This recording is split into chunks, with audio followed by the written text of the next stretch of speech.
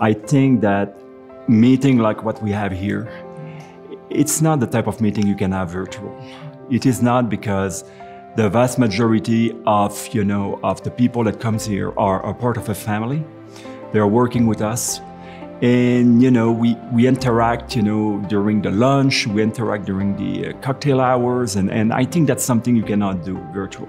This year I wanted to do a smaller meeting, but I didn't want it to be too uh, overwhelming in a way. So I am trying to invite the people that I think really move the needle in the orthopedics field.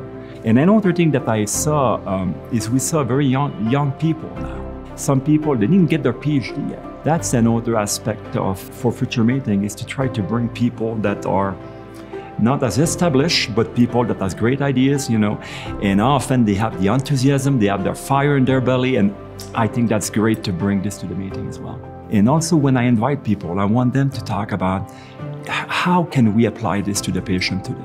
Is there a pathway to do this? Sometimes, as a scientist, you know, I think that I can move the needle and I, I can do everything on my own and I can talk to the patient and prescribe drugs and everything, but it doesn't work that way. All the regulation in doing research eh, and doing basic science research versus clinical research is two different ballgames.